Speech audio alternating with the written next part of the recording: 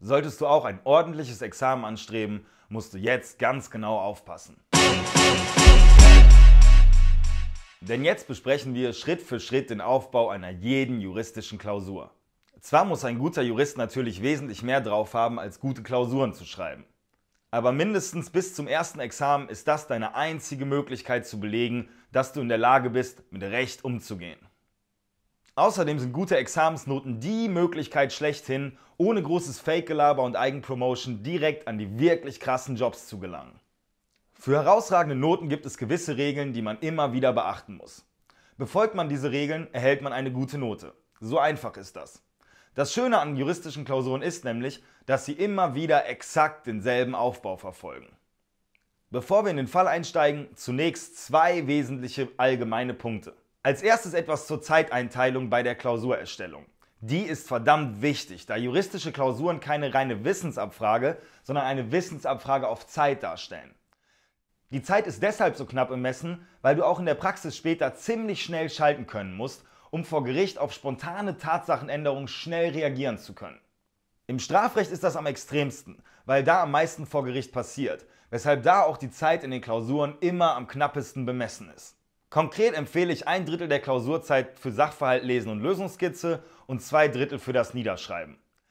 Ich selbst habe den Sachverhalt dabei immer nur einmal, dafür ordentlich Wort für Wort und mit Textmarker gelesen.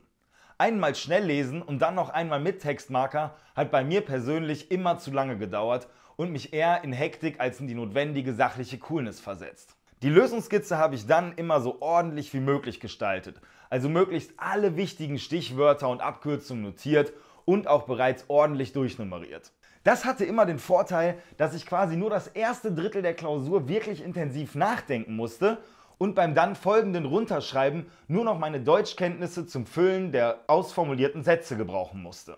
Manchmal konnte daher die Lösungsskizze deshalb auch bis zur Hälfte der Gesamtzeit einnehmen. Erfahrungsgemäß wurde es dann mit dem Runterschreiben allerdings etwas wilder. Hin und wieder habe ich auch gehört, dass empfohlen wird, es mal ganz ohne Lösungsskizze zu probieren. Das halte ich für ausgemachten Bullshit. Ganz einfach, weil juristische Klausuren dafür zu sehr einer Matheprüfung ähneln. Wie du nachher sehen wirst, gibt es zu viele Stellen, an denen man in die eine oder andere Richtung abbiegen kann. Wenn man die Klausur direkt runterschreibt, ist die Wahrscheinlichkeit zu groß, dass man an einer Stelle durch gute Argumente in die falsche Richtung abbiegt. Das mag dann zwar juristisch total vertretbar sein, aber wird dazu führen, dass einige Punkte auf der Prüferlösung ausgelassen werden. Und für eine gute Note, worum es beim Klausurenschreiben nun mal absolut hauptsächlich geht, muss man so viele Punkte behandeln wie möglich. Dazu kommen wir auch gleich im Fall nochmal. Da erfährst du auch, wie so eine Lösungsskizze aussehen kann. Als zweites vorab etwas zur Prüferperspektive. Die zu raffen ist nämlich ebenfalls unfassbar wichtig für eine gute Note. Denn die Prüferin oder der Prüfer soll dir schließlich genau eine solche gute Note geben. Er oder sie bewertet dich, also genau ihm oder ihr präsentierst du deine Jura. Hierzu muss man verstehen, wie so ein Prüfer tickt. Und alles, was ich jetzt sage, meine ich vollkommen ironiefrei. Dein Prüfer, ob in einer Erstsemester-Klausur oder im Examen, wird einen riesigen Stapel von Klausuren auf seinem Tisch liegen haben. Für die Korrektur einer solchen erhält er irgendwas zwischen 5 und 20 Euro. Fertige Anwälte verdienen für eine einstündige Erstberatung im Durchschnitt rund 120 Euro. Das bedeutet, der Prüfer muss mindestens sechs Klausuren in einer Stunde korrigieren, um auf diesen Stundenlohn zu kommen. Bei Erstsemesterklausuren würde ich mal davon ausgehen, dass es eigentlich etwas mehr sind, weil dafür niemals 20 Euro pro Klausur gezahlt werden. Zwar korrigieren diese Erstsemesterklausuren meist keine Anwälte, aber 20 Euro pro Stunde will jemand mit einem ersten Examen mindestens auch ganz gerne machen. Aber selbst bei 15 Minuten pro Klausur ist das verdammt wenig. Das bedeutet also, ganz viel von dem, was du da in mühevoller Kleinstarbeit niederschreibst, wird von deinem Prüfer im aus seiner Sicht Optimalfall nur überflogen. Deshalb ist es ganz wichtig, deine Klausurlösung so nah wie möglich an der Originalklausurlösungsskizze aufzubauen und möglichst viele Stichworte zu droppen. Das mag einem etwas albern vorkommen, aber ich habe immer Worte wie Anfechtung, Essentialia Negotii oder die Paragraphen so ordentlich wie möglich geschrieben, damit der Prüfer da schnell sein Häkchen dran packen kann und so wenig wie möglich querdenken musste bei meiner Klausur. Denn je weniger der querdenken muss, desto schneller ist der mit deiner Klausur fertig. Sprich, desto weniger abgefuckt ist der, ergo desto gewillter, dir eine gute Note zu geben. Ich will damit sagen, natürlich macht es in der Praxis einen guten Juristen aus, möglichst um die Ecke zu denken und andere Wege als der Mainstream zu gehen, denn nur so kann man der Gerechtigkeit eine neue Perspektive bzw. dem Mandanten eine interessante Alternative zu seiner Rechtsdurchsetzung bieten. Aber wenn noch ein Stapel von 40 Klausuren auf dich wartet, hättest du da wirklich Bock, 30 unterbezahlte Minuten was über die absolute Mindermeinung von irgendeinem Juraanfänger zu erfahren? Ganz ehrlich, das fuckt dich doch schon ab, wenn einer deiner Professoren in seiner Vorlesung abgedrehte Mindermeinungen runterlabert, egal wie gut die sein mögen. Zu diesem Prüferverständnis gleich auch nochmal etwas mehr. Mach dir nur schon mal klar, dass ein Prüfer Stichworte lesen will, die möglichst nah an der Lösungskizze aufgebaut sind. Die weiteren Regeln, die immer wieder gelten, werde ich dir nun anhand einer Klausurlösung demonstrieren. Zunächst nun aber erst einmal der dazugehörige Sachverhalt. Der BGBAT Superfall. Wir schreiben das Jahr 2003. Schon damals läuft bei B, da er dem mit Abstand sexiest Hobby on Earth frönt, dem Brieftaubensport. Bei dieser atemberaubenden Sportart geht es darum, Tauben mit dem bestmöglichen Training und Futter zu Höchstleistungen zu pushen. Bei den dazugehörigen Wettbewerben werden die Tauben mit einem Speziallastwagen zu einem einige hundert Kilometer von ihrem Heimatort entfernten Auflassort transportiert, von wo aus sie ihren Heimflug antreten. Es gewinnt derjenige Brieftaubenzüchter, dessen Tauben über die Distanz gemessen als schnellste den Heimatort erreichen. Da B kürzlich 18 geworden ist, steht dieses Jahr seine letzte Teilnahme bei der Bezirksmeisterschaft der Jugend an. Seit Jahren hält B dort Platz 1, was natürlich zu einem ziemlichen Erfolg beim anderen Geschlecht führt, da Mädels von Natur aus immer auf Typen stehen, die derbe fly sind. Um einen gebührenden Abschlusserfolg verzeichnen zu können, bevor er in die Gentleman League der Taubenzüchter aufsteigt, möchte sich B auf der einmal jährlich Dortmund stattfindenden Brieftaubenzüchtermesse ein neues Spitzentier zulegen. Da er selbst jedoch nur äußerst ungern das Barbarossa-Platz District verlassen möchte, bittet er seine Freundin Esmeralda, welche ebenfalls volljährig ist, für ihn ein geeignetes Exemplar zu erwerben.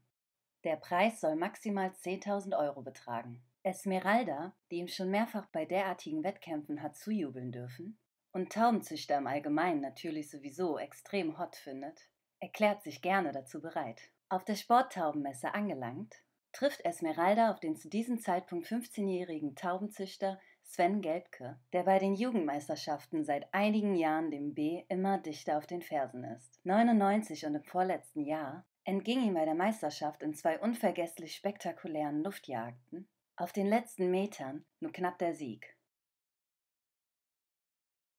Sven zeigt Esmeralda einige seiner zum Verkauf bereitstehenden Tiere. Dabei fällt ihr Auge aus einem Gefühl weiblicher Intuition sofort auf ein ihrer Meinung nach ausgesprochen hübsches und gepflegtes Täublein, welchem noch dazu ein Preisschild mit der Aufschrift 9000 Euro auf den linken Flügel gepappt wurde. Zwar bemerkt sie im Vergleich zu den anderen Tauben, dass dieses Tier nicht mit dem aerodynamischsten Körperbau gesegnet ist, Jedoch hält sie es dennoch für genauso wettkampfgeeignet wie die anderen auch. Außerdem hat dieses Exemplar zusätzlich einen im Vergleich zu den anderen Tauben relativ dicken, trichterförmigen, buschigen Schwanz und vor allem ein besonders schönes weißes Federkleid, was sie ausgesprochen ästhetisch findet. Und eine optisch einwandfreie Performance, so denkt sie, ist ja auch nie zu verachten. Nachdem Sven ihr auch versichert hat, dass etwaige Flecken ebenso leicht entfernbar sind wie bei grauen Exemplaren, ist für Esmeralda der Drops gelutscht und sie sagt zu Sven, dass sie die Taube gerne für B erwerben möchte und dieser Sven das Geld in einigen Wochen zukommen lasse. Sven ist einverstanden und gibt ihr die Taube sofort mit.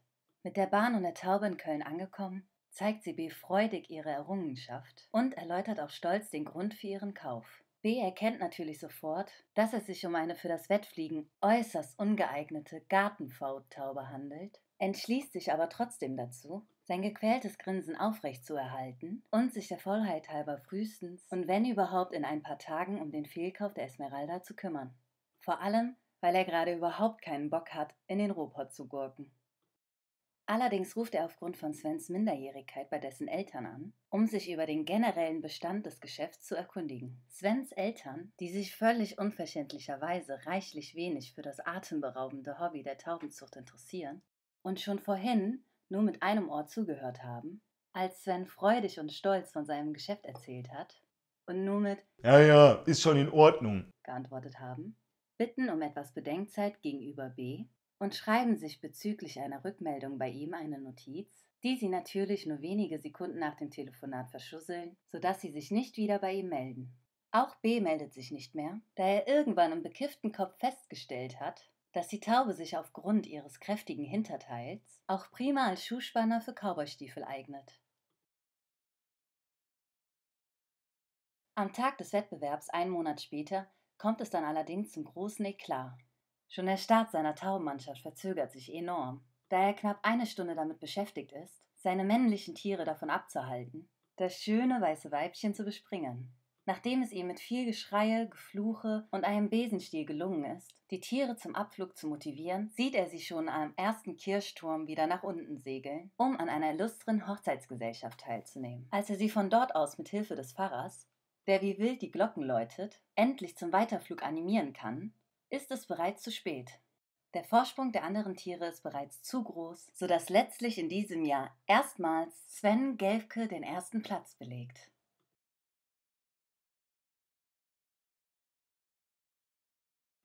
Zornig ruft B bei Svens Eltern an und erklärt ihnen, dass Sven kein Pfennig von ihm sehen würde, weil er nämlich den Deal hiermit schön wegen dem Irrtum der Esmeralda für null und nichtig erachte.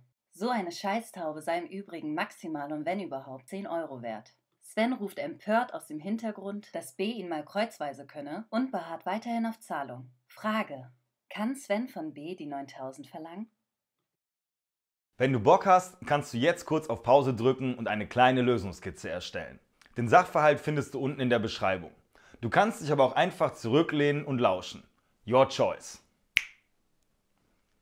Da es im Zivilrecht immer darum geht, dass einer was von einem anderen will, beginnst du deine Prüfung ja immer mit folgender Frage. Wer will was von wem woraus? Ist nach Ansprüchen im Allgemeinen gefragt, kann das schon mal etwas komplexer werden dann müssen alle in Betracht kommenden Ansprüche aller Parteien gegeneinander angeprüft werden. Hier sind von der Klausurfrage her jedoch schon die ersten drei Elemente klar vorgegeben. Sven will 9000 Euro von B. Es ist also nur noch die Anspruchsgrundlage zu ermitteln. Hierzu gehst du den Anspruchsaufbau aus Folge 3 durch. Hier kommt direkt ein vertraglicher Anspruch, nämlich einer auf Kaufpreiszahlung nach 433 Absatz 2 BGB in Betracht. Dein oberster Obersatz in dieser Klausur lautet also, es könnte gegen B einen Anspruch auf Kaufpreiszahlung in Höhe von 9000 Euro gemäß 433 Absatz 2 BGB haben. Das Sternchen hinter dem BGB steht da nicht ohne Grund. Um nicht immer wieder das Gesetz in der Klausur zitieren zu müssen, machst du auf der ersten Seite deiner Klausur einen Strich bei der vierten Zeile von unten und notierst dort hinter einem weiteren Sternchen, die nachfolgenden Paragraphen sind, wenn nicht anders vermerkt, solche des BGB. Da juristische Klausuren keine reine Wissensabfrage darstellen, sondern eine Wissensabfrage auf Zeit und daher von den Minuten her immer ziemlich knapp bemessen sind, ist es gut, so viel Zeit wie möglich zu sparen und nicht immer wieder daran denken zu müssen, das Gesetz hinzuschreiben. Nach deinem ersten Obersatz folgt die Definition gemäß dem Gutachtenstil, was in Fachkreisen ja auch Otze für Obersatz Definition, Subsumption, Ergebnis genannt wird. Definition meint ja aber nicht nur das reine Definieren von Begriffen, sondern auch Voraussetzungen. Voraussetzungen für den Anspruch von Sven ist, dass ein solcher Anspruch besteht. Das so zu machen, wie ich dir das jetzt zeige, ist zwar etwas sehr pingelig, aber mir geht es hier darum, dass du die Grundlogik einer jeden Klausur verstehst, weshalb wir das jetzt einmal ganz genau durchgehen, damit du für dein Leben ein für alle Mal verstehst, wie das mit den Klausuren in Jura so läuft. Ein Anspruch im Zivilrecht besteht, wenn dieser entstanden, nicht untergegangen und durchsetzbar ist. Will man diese Aussage dogmatisch in Otze einordnen, handelt es sich um eine verfeinerte Definition. Die weitere Aussage, dazu muss ein solcher Anspruch entstanden sein, stellt also bei genauer Betrachtung wieder sowohl selbst eine Definition dar, als auch einen Obersatz für die nachfolgende Prüfung. Das zu verstehen ist essentiell für die juristische Begutachtung. Und glaub mir, mindestens 60% aller praktizierenden Juristen haben das nie so ganz richtig verstanden. Jedoch stellt genau das die Grundlogik unseres Faches dar. Juristen sprechen Recht. Das heißt, sie sagen Leuten, was richtig und was falsch ist. Allerdings lässt sich keiner so richtig gerne sagen, was richtig und was falsch sein soll.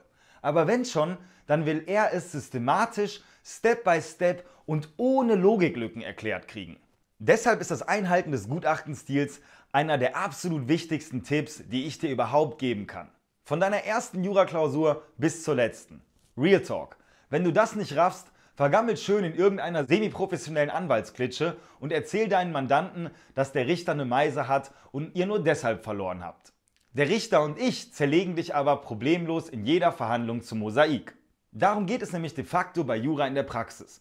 Dem Gegner mittels logischer Zerlegung seiner Argumentation bis ins kleinst zerlegbare Detail aufzuzeigen, dass seine Vorstellung von Gerechtigkeit vielleicht einer simplen, gefühlsgetragenen Bewertung standhält, aber nicht einer alles in die Waagschale einwerfenden Betrachtung der Logik. Also dass Vertrag nicht gleich Vertrag ist, Tritt nicht gleich Tritt, Nein nicht gleich Nein und auch Ja nicht gleich Ja.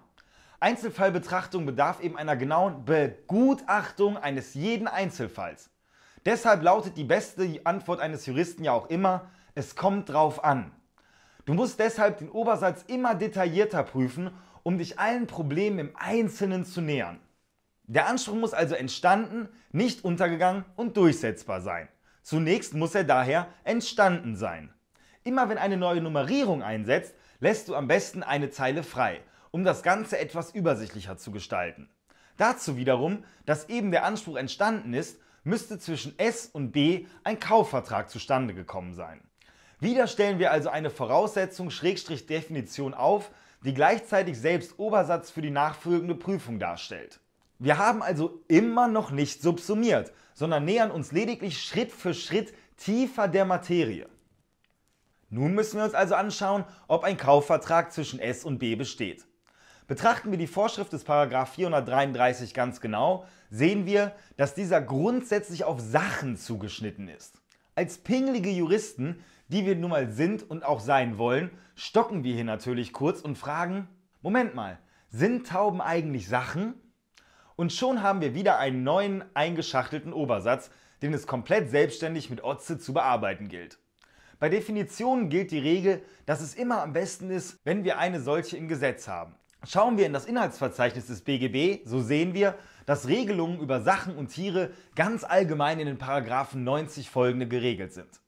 Dabei stellt Paragraph 90a fest, dass Tiere keine Sachen sind, aber als solche behandelt werden.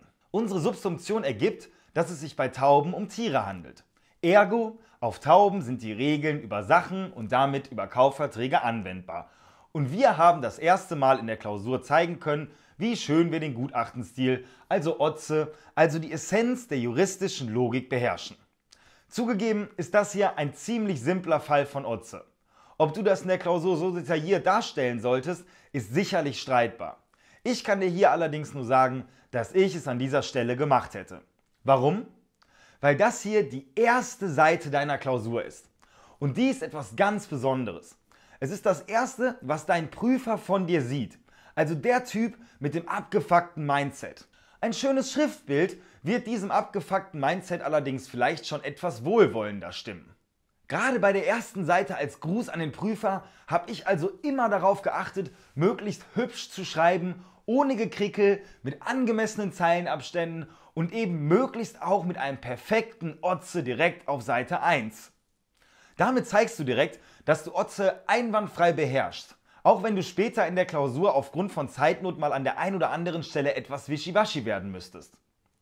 Aus eigener Erfahrung beim Klausuren korrigieren weiß ich, dass ich mir immer die erste Seite genau durchgelesen habe, während man später immer mehr dazu neigt, nur nach Stichworten zu suchen.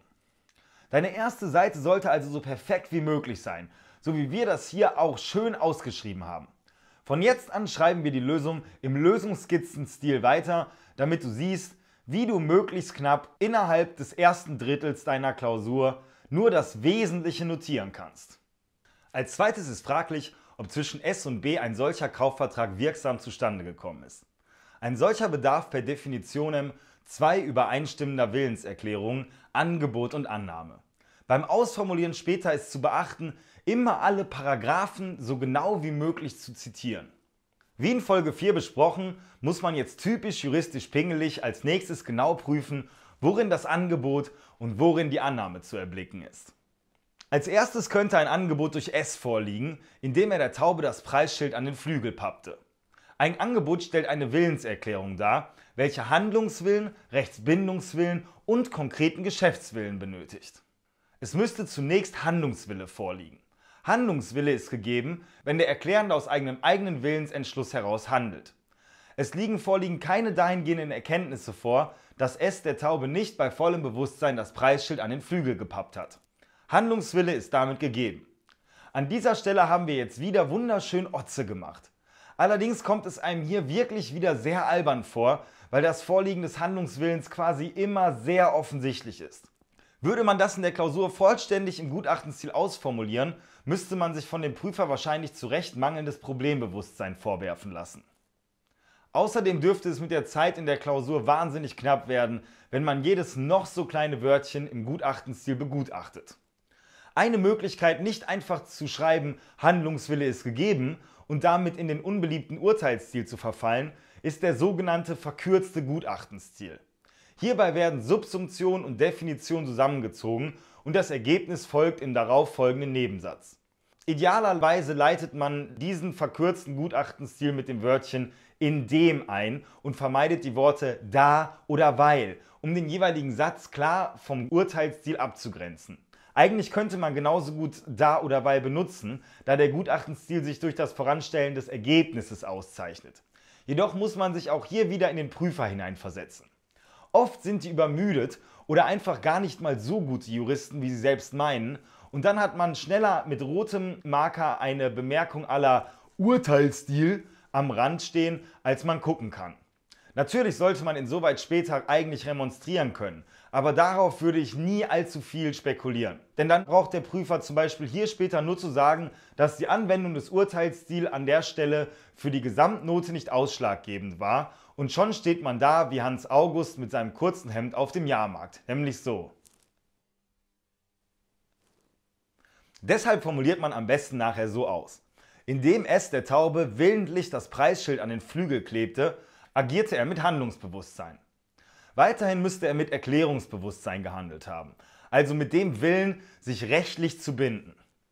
Jemand, der eine Sache in der Öffentlichkeit zum Verkauf mittels Preisschild ausstellt, wird regelmäßig nicht wollen, dass ein Vertrag zustande kommt mit jedem, der vorbeiläuft und einfach nur Ja, ich will sagt.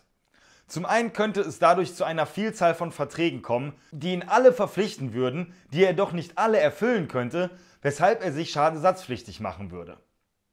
Dies kann bei objektiver Betrachtung nach dem für die Auslegung von Willenserklärungen relevanten objektiven Empfängerhorizont nach 133 157 nicht gewollt sein. Zum anderen ergibt sich dies auch gerade bei derart edlen Tieren wie der Taube, die man ob ihrer Pracht und Pflegebedürftigkeit nicht an jeden x-beliebigen dahergelaufenen Dude abgeben wollen wird. Wie man sieht, kann man eine saubere Subsumption an dieser Stelle bereits lediglich mit einem fundierten dogmatischen Wissen über die Willenserklärung vollziehen, wie du es in Folge 4 gelernt hast. Solltest du den von Rechtsgelehrten geprägten Begriff kennen, der hier einschlägig ist, nämlich die sogenannte Invitatio ad offerendum, zu Deutsch die Einladung zum Angebot, ist das super, das hier hinzuschreiben. Also vielmehr handelt es sich bei dem Anbringen eines Preisschildes regelmäßig um eine sogenannte Invitatio ad offerendum, also eine Einladung an den jeweiligen Kaufinteressenten, ein Kaufangebot abzugeben. Allerdings siehst du mal wieder, dass du eigentlich derartiges Fachvokabular in der Juristerei nicht benötigst, um eine saubere Lösung zu erstellen.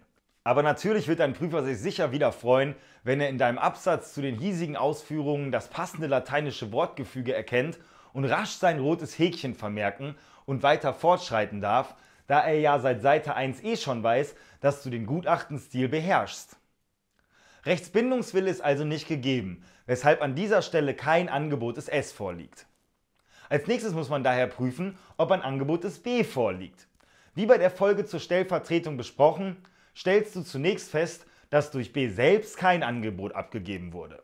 Allerdings könnte ihm die Willenserklärung der E, also die Äußerung bezogen auf den Kauf der konkreten weißen Taube zu dem konkreten Preis von 9000 Euro bei Sven zuzurechnen sein. Gemäß Paragraphen 164 folgende. Jetzt siehst du das erste Mal, wie schön es ist, Prüfungsschemata auswendig zu können, weil du das der Stellvertretung jetzt Schritt für Schritt durchprüfst. Vorab kannst du kurz feststellen, dass bei nicht höchstpersönlichen Willenserklärungen eine Stellvertretung stets zulässig ist, kannst das aber auch aufgrund der Offensichtlichkeit weglassen. Geschmackssache. Ich hätte es aber wieder gemacht, da ein bisschen Wissensprostitution nie schadet und man so schön in seinem auswendig gelernten Konzept bleibt. Im Gutachtenstil solltest du derart Offensichtliches jedoch nicht behandeln. Deinem Prüfer ist schon klar, dass deine Bearbeitungszeit dafür niemals genügen würde. Weiter müsste eine eigene Willenserklärung der E vorliegen. Das ist immer der Fall, wenn Spielraum hinsichtlich mindestens einer der Essentialia Negotii besteht. Hier war die Vollmacht hinsichtlich des Gegenstandes lediglich darauf beschränkt, dass es sich um eine Taube handeln musste und der Preis auf ein Limit von 10.000 Euro. Über den Vertragspartner, die Art der Taube und den Preis nach unten hin konnte E selbstständig entscheiden. Damit lag eine eigene Willenserklärung vor. Als nächstes müsste Handeln im fremden Namen vorliegen. Der Sachverhalt erklärt hier relativ eindeutig, dass E zu S gesagt hat, die Taube für B erwerben zu wollen. Hier bietet sich also beim Ausformulieren wieder hervorragend der verkürzte Gutachtenstil an. Also, indem E gegenüber S äußerte, die Taube für B erwerben zu wollen, hat sie auch im fremden Namen gehandelt. Auch den nächsten Punkt kann man super abkürzen. Indem B der E Vollmacht zum Kauf einer Taube erteilte, hat er ihr rechtsgeschäftlich Vertretungsmacht eingeräumt. 9000 Euro waren von der bis auf 10.000 Euro gedeckelten Vollmacht auch erfasst. Im letzten Unterpunkt zur Vertretung stellst du dann noch fest, dass die Voraussetzungen der Paragraphen 167 folgende gegeben sind. Denn es gilt die Regel, wer A sagt, muss auch B sagen. Also immer wenn du einen Oberpunkt mit Unterpunkten prüfst, gibt der letzte Unterpunkt das Ergebnis dazu wieder. Als nächstes ein kleiner erster Tricky zum Minderjährigenrecht. Paragraph 131 Absatz 2 Satz 1 in Verbindung mit Absatz 1. Der wird sehr oft übersehen. Danach wird eine Willenserklärung gegenüber einem Minderjährigen erst wirksam, wenn sie seinem gesetzlichen Vertreter zugeht. Nach Absatz 2 Satz 2 wird sie dem beschränkt Geschäftsfähigen im Sinne des Paragraph 106 in Verbindung mit Paragraph 2 gegenüber jedoch auch sofort wirksam, wenn sie lediglich rechtlich vorteilhaft ist. Jedes Angebot ist insoweit stets als lediglich rechtlich vorteilhaft zu betrachten, da ein solches allein keine Verpflichtung begründet und dem Minderjährigen lediglich die Möglichkeit einräumt, einen Vertrag zustande zu bringen. Allerdings könnte die Willenserklärung des B aus einem anderen Grund unwirksam sein. Sie könnte nämlich aufgrund von Anfechtung nach 142 Absatz 1 als von Anfang an nichtig gelten. Auch hier kannst du wieder wunderbar das in Folge 5 gelernte Prüfungsschema durchknüppeln. Der Zulässigkeit der Anfechtung steht nichts entgegen. Insbesondere ist hier nicht problematisch, ob die Vollmacht angefochten werden kann, da B das Angebot selbst angreift. Dass er sich auf die von E abgegebene Willenserklärung sowie deren Irrtum berufen kann und auch muss, ergibt sich aus 166 Absatz 1. Weiter müsste ein Anfechtungsgrund gegeben sein. Den würde ich immer im Gutachtenstil prüfen, da man hier immer gut argumentieren kann. Vorliegen könnte ein Eigenschaftsirrtum nach 119 Absatz 2 gegeben sein. Dazu müsste E über eine verkehrswesentliche Eigenschaft einer Sache geirrt haben. Wie du siehst, haben wir jetzt hier dreifach geschachtelt, also quasi drei Obersätze hintereinander aufgestellt. Die müssen nachher in jedem Fall alle wieder geschlossen werden. Jetzt aber erstmal zur Definition der verkehrswesentlichen Eigenschaft. Das sind alle auf der natürlichen Beschaffenheit beruhenden wertbildenden Merkmale einer Sache von gewisser Dauer, die nach der Verkehrsanschauung erheblich sind. Insoweit B sich darauf beruft, die Taube sei maximal 10 Euro wert, kann dies kein Eigenschaftsirrtum begründen. Der Preis selbst ist nämlich kein wertbildendes Merkmal, sondern nur das Produkt aller wertbildenden Merkmale. Allerdings ist E vorliegend davon ausgegangen, dass die weiße Taube genauso wettkampfgeeignet sei wie alle anderen Tauben auch, hat also ihre Geschwindigkeit, Fluglust und den allgemeinen Wettkampfesprit, wie man im Taubenzüchterjargon zu sagen pflegt, falsch eingeschätzt. Diese bilden den wesentlichen Wert einer Wettkampftaube. Sie irrte da über eine verkehrswesentliche Eigenschaft. Paragraph 119 Absatz 2 liegt damit vor. Es ist also ein Anfechtungsgrund gegeben und wir haben die aufgestellten Obersätze mit einem bejahenden Ergebnis geschlossen. Die Auslegung nach Paragraphen 133 157 der Erklärung des B, das Geschäft für null und nichtig zu erachten, ergibt auch, dass er zu erkennen gibt, das Rechtsgeschäft aufgrund des Willensmangels der Ehe nicht mehr gelten lassen zu wollen. Dies genügt für eine Anfechtungserklärung, da das Wort Anfechtung vom Rechtsleihen nicht ausdrücklich genannt werden muss. Auch gilt diese durch die Erklärung gegenüber den Eltern nach 131 als zugegangen. Allerdings müsste er dies als nächstes auch fristgemäß erklärt haben. Nach 121 Absatz 1 Satz 1 hat die Anfechtung unverzüglich, also ohne schuldhaftes Zögern vom Moment der Kenntniserlangung von dem Irrtum an zu erfolgen, also innerhalb einer nach den Umständen des Einzelfalls zu bemessenen Prüfungs- und Überlegungsfrist. Hier hat B schon bei Übergabe der weißen Taube die mangelnden Taubenverständnisskills der E erkannt und hätte als Profitaubenzüchter sofort sehen müssen, ob das Tier für seine Zwecke über genügend Fluglust und allgemeinen Wettkampfesprit verfügt. Er hat hingegen nur mangels Bock ins Ruhrgebiet zu fahren nicht gehandelt.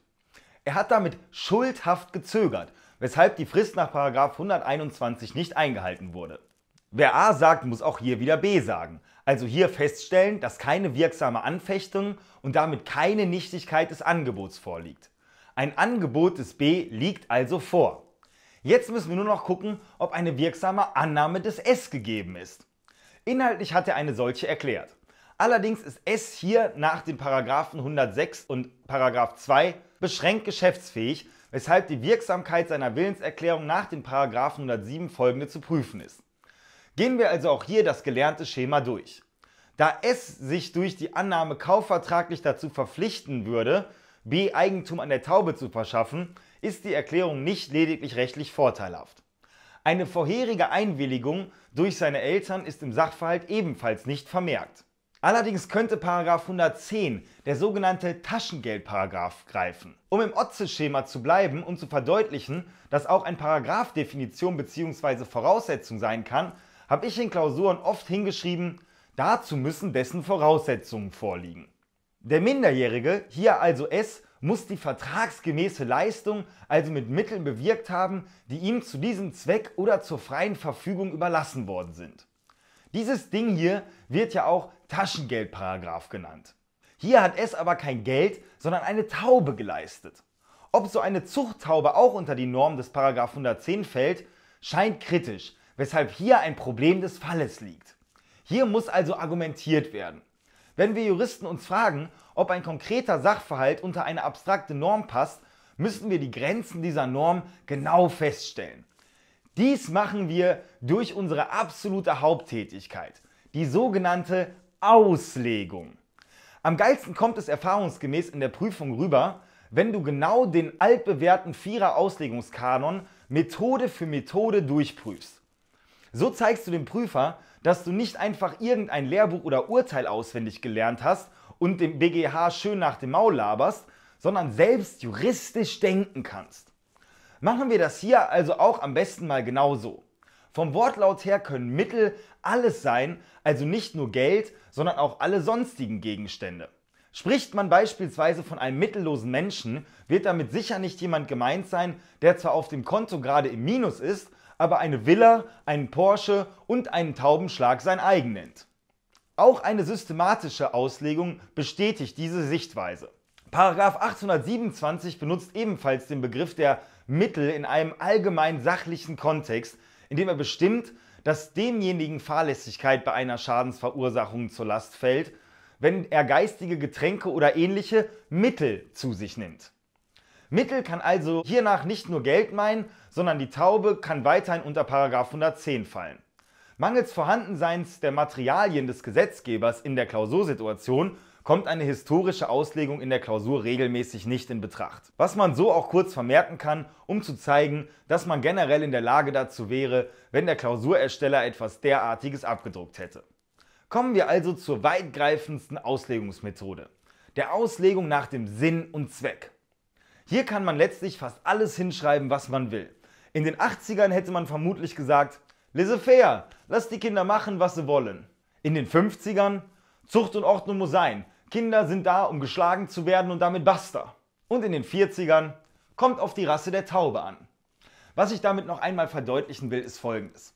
Die teleologische Auslegung ist die mit Abstand stärkste Auslegung, weil sie quasi moralische Wertungen in das Recht einfließen lassen kann obwohl sonst beides eigentlich strikt zu trennen ist.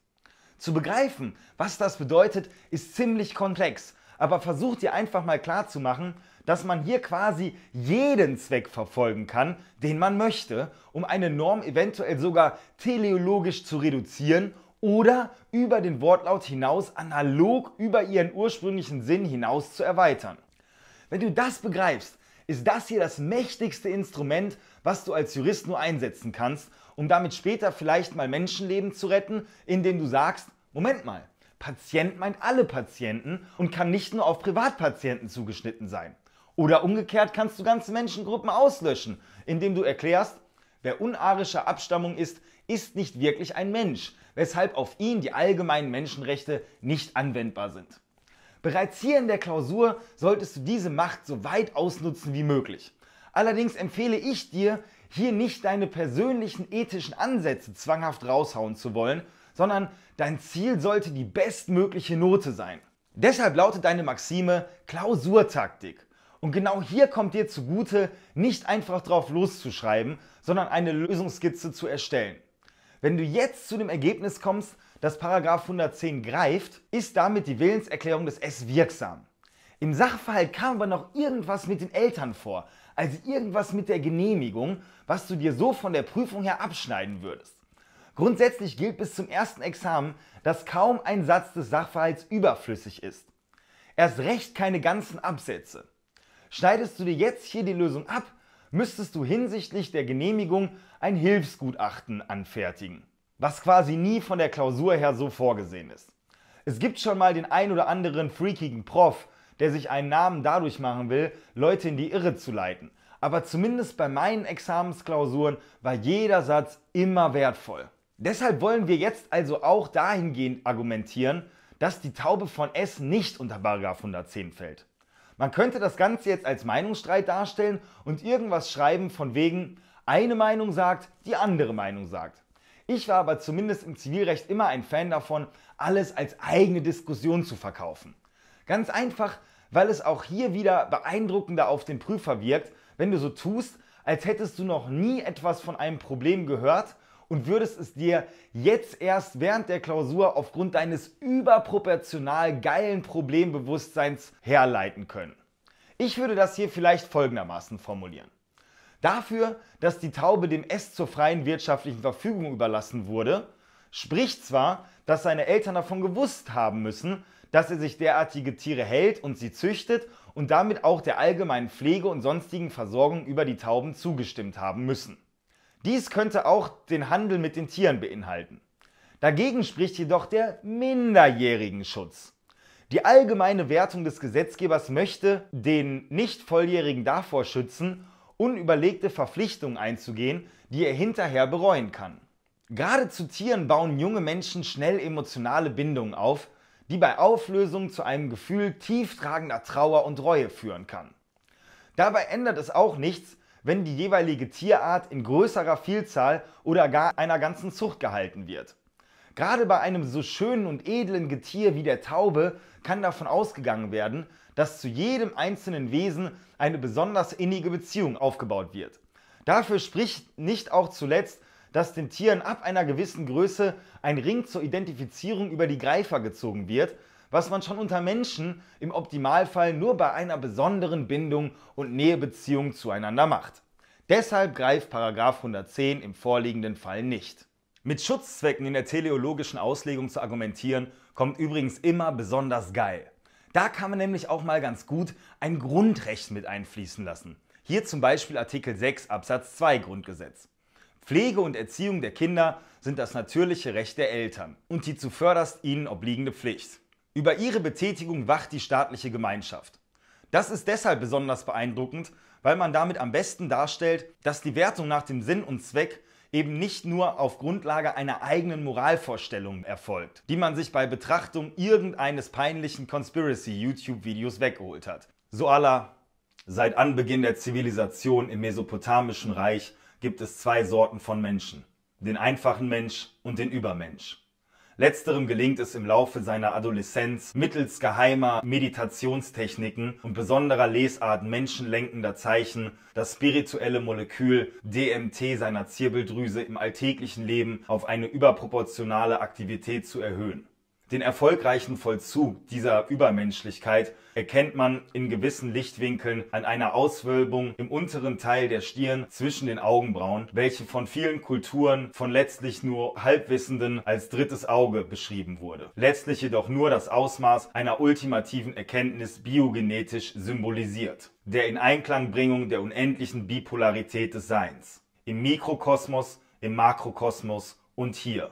Daher wissen diese Menschen, dass jeder kreative Akt der Existenz auf dem Zusammenspiel jeweils zweier Kräfte beruht. Frau und Mann, richtig und falsch, gut und böse, Teil und Gegenteil, Tod und Leben, linke Seite und rechte Seite, Proton und Antiproton, Nichtsein und Sein. Darauf, dass der einzig erhebliche Weg darin besteht, sich selbst als dritte Instanz zwischen diese beiden Pole zu stellen wird durch eine versteckte Propagierung des Dreiecks hingewiesen. Dahingehende Beispiele sind die Mystifizierung der heiligen Dreifaltigkeit, der Bau der Pyramiden, das Winkelmaß der Freimaurer oder gewisse Logos überproportional fetter YouTube-Channels. Dass diese in Einklang zu bringende Bipolarität auch der Ursprung der Urexplosion des von dir in diesem Moment als real empfundenen Universums bildet, ist vollkommen selbstverständlich und ergibt sich zum Beispiel aus der alttestamentarischen Schöpfungsgeschichte des ersten Buch Mose, in dem Gott plötzlich unerwartet im Atortativ der zweiten Person Plural sagt, lasst uns einen Menschen machen. Daher kann das einzig wahre Ergebnis einer ultra vernünftigen teleologischen Auslegung stets nur sein, beides falsch. Nein, sowas hast du gar nicht nötig. Denn am geilsten ist es, wenn du die Wertungslinie nutzt, die uns Juristen nun einmal vorgegeben ist, die des Gesetzgebers. Deshalb auch hier mein Tipp. Versuche wann immer möglich, nicht deine eigenen Moralvorstellungen zu nutzen, sondern das Grundgesetz innerhalb deiner theologischen Auslegung einfließen zu lassen. Daraus ergeben sich nämlich ganz viele Sinne und Zwecke, die der Gesetzgeber für notwendig erachtet. Also hier Artikel 6 Absatz 2 Grundgesetz, aus dem sich ergibt, dass auch der Schutz von Kindern dem Staat in gewissem Rahmen obliegt. Als letzten Unterpunkt unter der Annahme muss man nun feststellen, dass die Willenserklärung des S damit jedoch noch nicht nichtig ist. Sie kann jedoch lediglich zu einem schwebend unwirksamen Vertrag führen. Es ist also durch Angebot und Annahme damit zwischen B und S zunächst ein schwebend unwirksamer Vertrag zustande gekommen. Der Anspruch auf Zahlung aus Kaufvertrag liegt damit nur vor, wenn eine Genehmigung der Eltern nach 108 vorliegt. Grundsätzlich hatten die Eltern gegenüber S ja ja gesagt, als er von seinem Verkauf erzählt hat, also wahrscheinlich die Genehmigung erteilt. Allerdings hat B die Eltern zur Erklärung aufgefordert.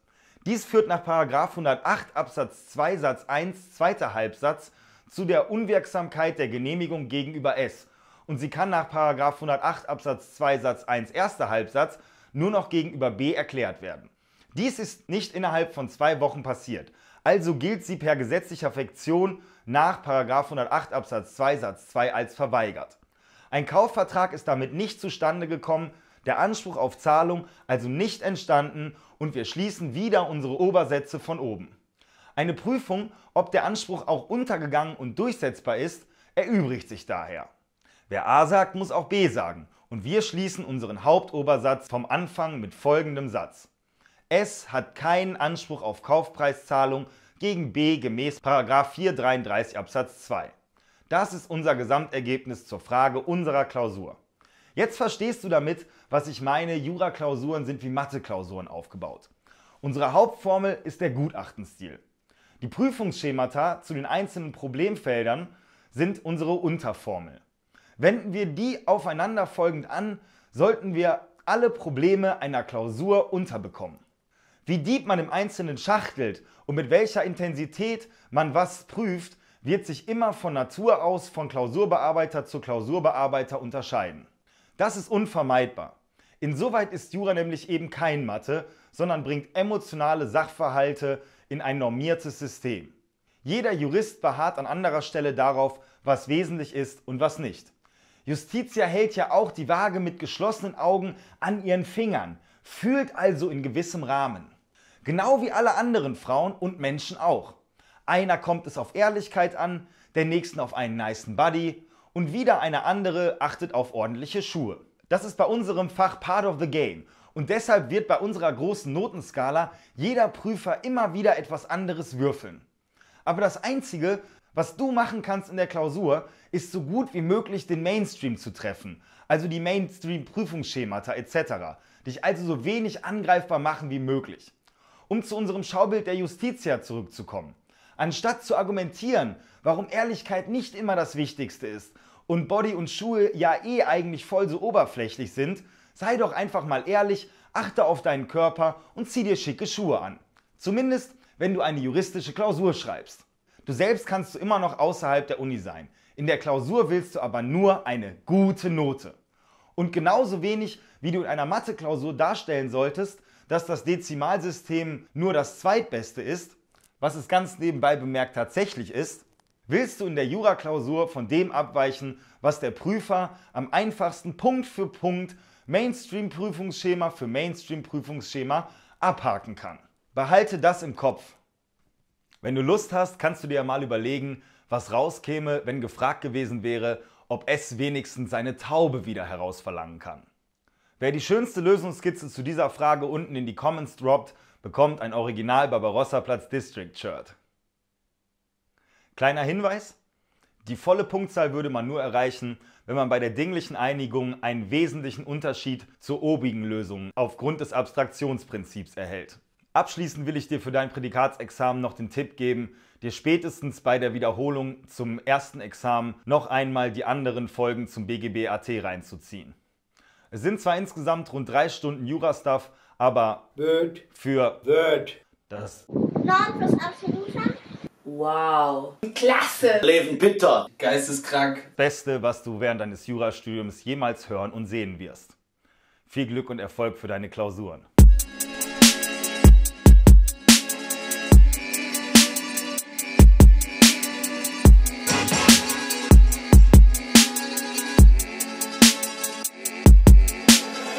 Welcome to the jungle, dich gewachsen, Paragraphen, fühlt sich vom Gesetz verraten, willst den lieben Gott verklagen, Dr. Justice, hilft dir das Gestrüpp zerschlagen, ist der Mann für deine Fragen in allen Lebenslagen. Der Doktor kann kein lamentieren, die Staatsanwaltschaft guckt, denn selbst Justitia drückt auf Abonnieren, dem Richter fliegt der Hammer weg. Dr. Justice, Dr. Justice, Dr. Justice, macht es klar. Doktor, Doktor, bin am Lernen wie ein Bekloppter.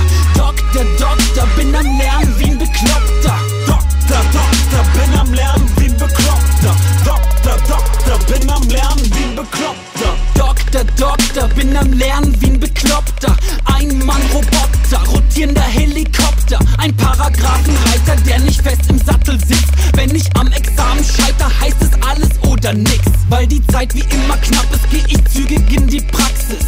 Ruf nicht die Polizei, ruf lieber Dr. Justice, lass den Hammer fallen wie Tor.